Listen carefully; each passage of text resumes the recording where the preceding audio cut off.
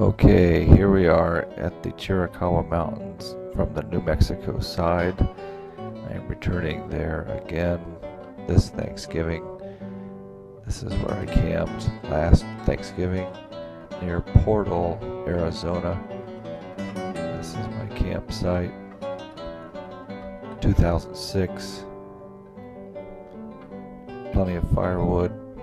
And here we are near Portal, Arizona in the Chiricahua Mountains.